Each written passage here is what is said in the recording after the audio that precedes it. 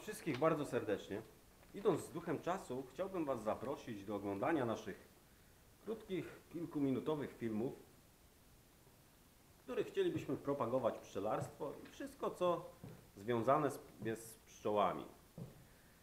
Te nasze krótkie filmy będą miały Wam przedstawić na przykład produkty pszczele, wszystkie produkty pszczele, ich właściwości lecznicze, właściwości zdrowotne, właściwości odżywcze.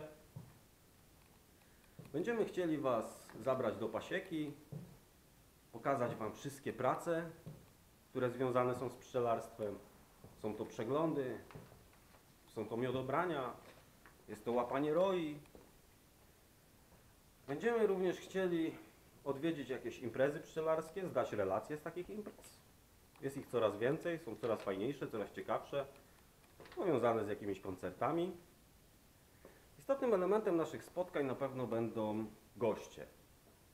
Gośćmi naszymi będą pszczelarze, ludzie związani z pszczołami od wielu, wielu lat, niektórzy dziesiątki lat. Zaprosić będziemy chcieli również młodszych pszczelarzy, którzy przez ostatnie lata zdobywają doświadczenie.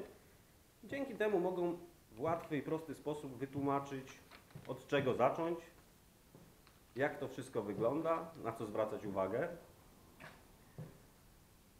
Cóż, mam nadzieję, że będziemy się dosyć często spotykali. Mam nadzieję, że te spotkania będą ciekawe, zabawne.